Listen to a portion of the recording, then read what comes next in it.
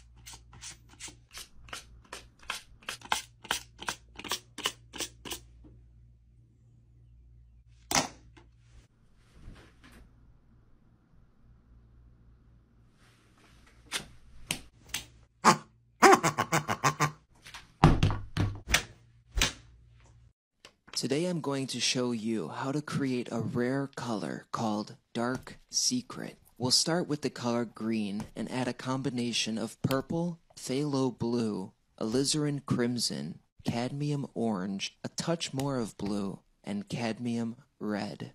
Finding the perfect balance between warmth and coolness is crucial when making this shade of black. However, due to its darkness, it becomes challenging to discern subtle color variations. Our strategy for achieving this color is to keep adding pigment until it appears close to our desired shade. Alright, let's assess our mixture. As you can see, the color I've created is too blue and too light. To fix this, we will incorporate some burnt umber. This addition will darken and warm up our mixture, bringing it closer to the desired result. Now that our color seems perfect, let's see how it appears on the color swatch. Yes, that's it. The dark secret has been revealed. The secret is to always begin with green.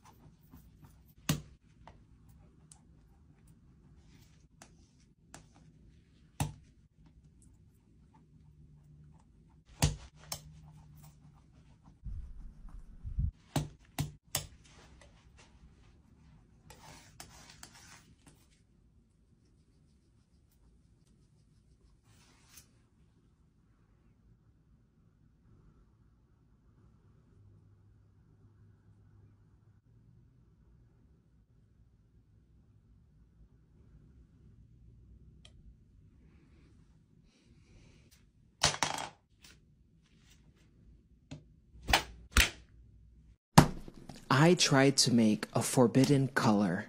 The color is literally called forbidden red. Some may ask, why is this color forbidden? The answer to that is all in the mixing process. Throughout my career, I've color matched hundreds, maybe even thousands of paint swatches, but this particular shade pushed me to my limits. I've spent hours upon hours analyzing, trying different ratios, experimenting with different colors, but nothing seemed to work. In the end, I have to admit defeat. The color forbidden red simply cannot be recreated. The closest I got was a similar shade, but as you can see, it's still a failure. It's a humbling reminder that sometimes, despite our best efforts, there are things that are simply forbidden.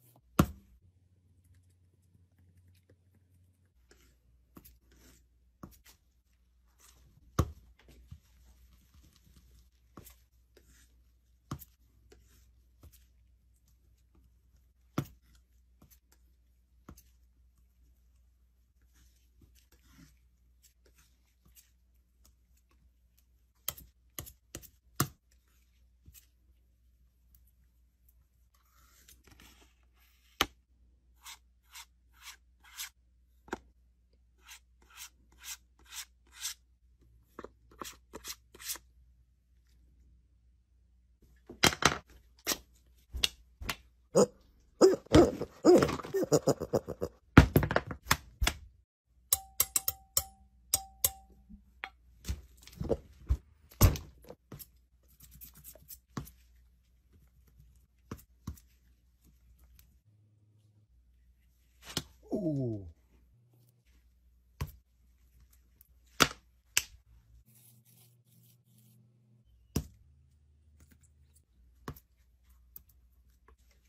How you doing? I'm Mr. Magenta.